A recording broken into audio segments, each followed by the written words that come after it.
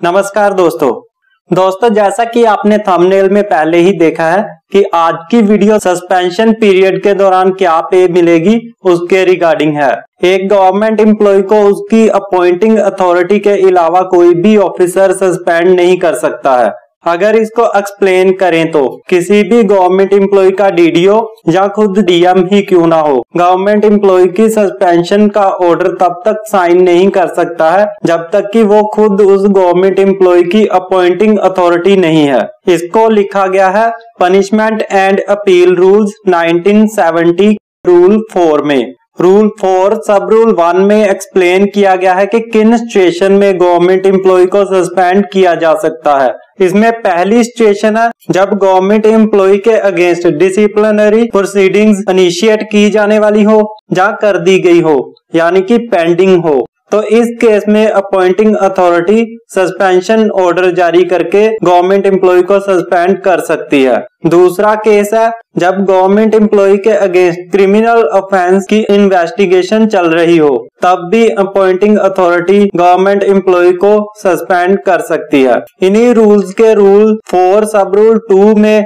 ऐसी सिचुएशन बताई गई है जिसमें गवर्नमेंट एम्प्लॉय को अपने आप ही सस्पेंड माना जाता है। इसमें हम एक इम्पोर्टेंट सिचुएशन ही रीड करेंगे। बाकी हम रीड नहीं करेंगे ताकि वीडियो ज़्यादा लंबी ना हो जाए। तो इसमें पहली सिचुएशन है जिसमें गवर्नमेंट एम्प्लॉय को अपने आप ही सस्पेंड माना जाएगा।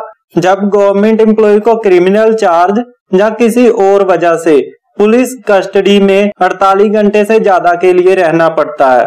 तो दोस्तों सस्पेंशन के केस में कितनी पे मिलेगी, वो जानेंगे। उससे पहले अगर अभी तक आपने चैनल को सब्सक्राइब नहीं किया है तो चैनल को सब्सक्राइब ज़रूर कर लीजिएगा। और साथ ही बेल आइकन को क्लिक करना मत भूलना, ताकि जब भी कोई नई वीडियो आए तो आपको उसका नोटिफिकेशन मिल सके। अगर आप इस चैनल पर अवेलेबल हर वीडियोस को कैटेगरी वाइज देखना चाहते हैं तो आप इस चैनल की प्लेलिस्ट में जाकर हर वीडियो को कैटेगरी वाइज देख सकते हैं। Punjab civil service rule volume one part one का chapter seven dismissal removal suspension and resignation suspension period के दौरान क्या पे मिलेगी, उसको भी डील करता है। रूल 7.2 में पंजाब गवर्नमेंट में कार्यरत कर्मचारियों को दो कैटेगरी में डिवाइड किया गया है, क्योंकि सस्पेंशन पीरियड के दौरान उनको अलग अलग तरीके से पे दी जाती है। पहली कैटेगरी में वारंट ऑफिसर हैं, जो सब्सटेंशियली मिलिट्री ड्यूटी में ही होते हैं। अगर उनको सस्पेंड किया जाता है तो जो मिलिट्री एम्प्लॉयमेंट में सस्पेंशन के दौरान पे दी जानी होती है, वही उनको दी जाती है।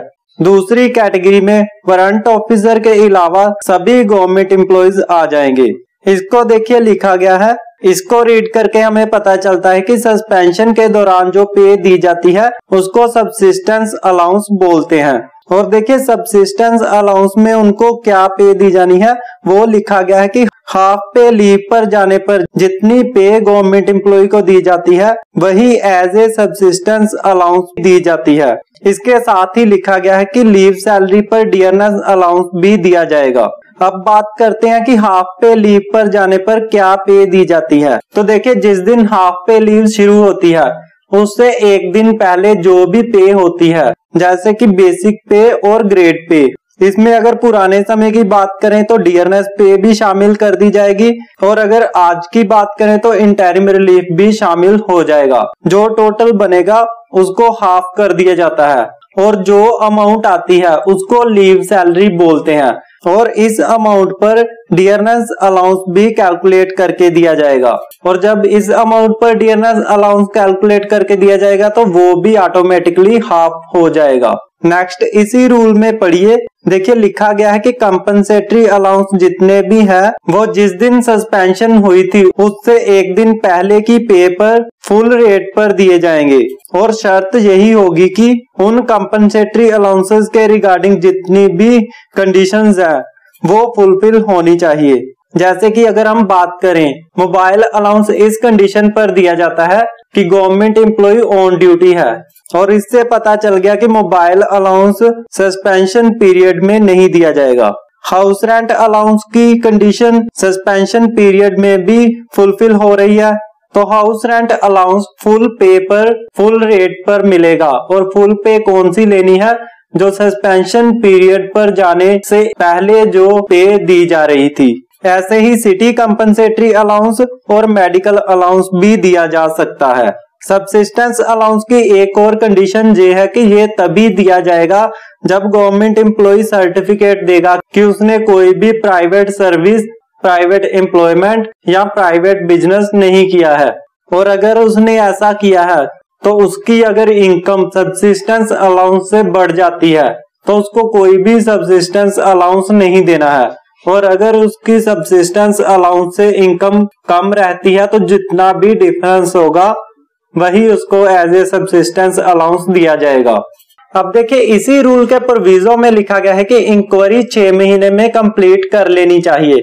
अगर इंक्वायरी छह महीने में कंप्लीट नहीं होती है सस्पेंशन पीरियड को छह महीने से बढ़ाना पड़ जाता है। तो कॉम्पिटेंट अथॉरिटी को ऑर्डर करना पड़ेगा कि गवर्नमेंट एम्प्लॉय की सब्सिस्टेंस अलाउंस में कोई भी चेंजेस नहीं हुआ है। जहाँ कम्पिटेंट अथॉरिटी उसको 50 प्रतिशत बढ़ा सकती है, जहाँ कम्पिटेंट अथॉरिटी उसको 50 प्रतिशत कम भी कर सकती है। कम्पिटेंट अथॉरिटी सब्सिस्टेंस अलाउंस को 50 प्रतिशत तभी बढ़ा सकती है जब सस्पेंशन पीरियड गवर्नमेंट एम्प्लॉय की वजह से ना बढ़ाया गया हो, और सस्पेंशन पीरियड को 50 प्रतिशत तक तभी कम किया जा सकता है जब सस्पेंशन पीरियड गवर्नमेंट एम्प्लॉय की वजह से बढ़ाना पड़ गया हो। अब देखिए, हमें पता चला कि सबसिस्टेंस अलाउंस में basic pay grade pay dearness pay interim relief आदि को हाफ़ कर दिया जाता है और इस हाफ़ अमाउंट पर ही डियरनेस अलाउंस दिया जाता है। और उसके बाद सिटी कंपनसेटरी अलाउंस और कंपनसेटरी अलाउंसेस जैसे कि house rent allowance city compensatory allowance और fixed medical allowance full rate पर दिए जाते हैं। दोस्तों कंपनसेटरी अलाउंस को Punjab civil service rule volume one part one का चैप्टर फिफ्थ डील करता है। इसी चैप्टर में लिखे प्रोविजंस के कारण कंपनसेटरी अलाउंसेस को फुल रेट पर दिया जाता है, जिसकी वजह से चैप्टर सेवन में भी लिखा गया है। पंजाब गवर्नमेंट की इंस्ट्रक्शन के अकॉर्डिंग अगर कोई गवर्नमेंट एम्प्लॉय कैजुअल लीव के अलावा 10 दिन की छुट्टी पर जाता है, या 10 दिन की एलटीसी पर भी जाता है तो उसको पूरे महीने का मोबाइल अलाउंस नहीं दिया जाता है। इसके साथ ही कन्वेंस अलाउंस भी ड्यूटी के लिए कन्वेंस मेंटेन करने की कंडीशन पर ही दिया जाता है। दोस्तों, उम्मीद आपको आज की वीडियो पसंद आई होगी। अगर आपकी किसी भी तरह की क्वेरी है तो आप हमें हमारी email ID फिनास्टी academy at the rate gmail dot com पर भेज सकते हैं।